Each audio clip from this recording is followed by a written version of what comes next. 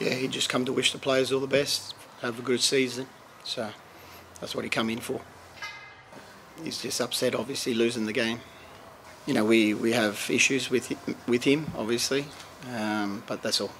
That's between me and him. I think it all started in the game where, where I think their coach said something um, not very nice in the sideline to Milos. I think that's where it started, you know.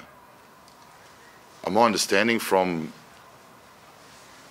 the guys that do full ac- access, you know, approached and approached me and just said that Milos went in there to to congratulate his old teammates, and uh, their coach didn't appreciate him being in there. Something occurred between those two, which wasn't pleasant. It's quite fiery.